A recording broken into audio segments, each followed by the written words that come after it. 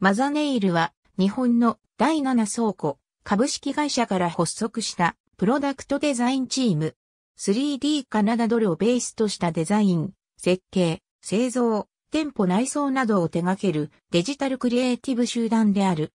現在ではオリジナルブランドも立ち上げ、不定期ではあるが、エキシビジョンなどの場で作品の発表を行っている。デザイナーの藤本由紀によって2007年に設立された。本社は東京都文京区、仙国。設立当初から友人数名によるプロダクトデザインチームとして活躍しており、すべて独自で研究開発などをし幾度も試行錯誤を繰り返し現在のチームが出来上がった。その手法は 3D カナダドルや立体造形用ソフトフリーホームを駆使し、基本となる 3D データの作成による綿密な設計から始まる。その分野もクライアントのファッションアイテムのデザイン、設計、製造、店舗内装を中心に家具やアクセサリー、靴など多岐にわたる。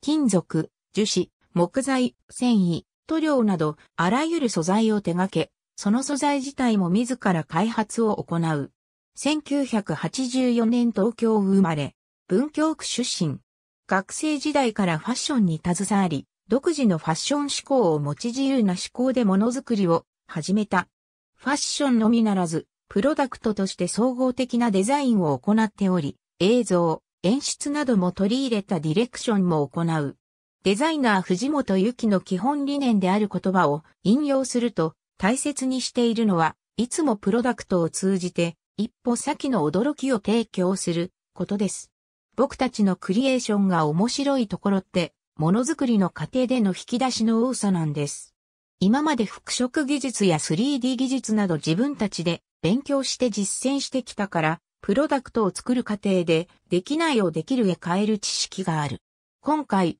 この知恵を使う手法が 3D プリント技術であっただけであって、最先端っぽさを重視しているわけではありません。今後また違った手法でプロダクトを出していく可能性もあります。プロダクトも靴やアクセサリーに止まることもありません。千件、新聞2014年7月19日掲載ミスター、パートナー、ヒットの予感。2014年度版2014年11月7日、掲載ファッションニュースボリューム181 2013年5月7日、掲載1000件、プラス http www.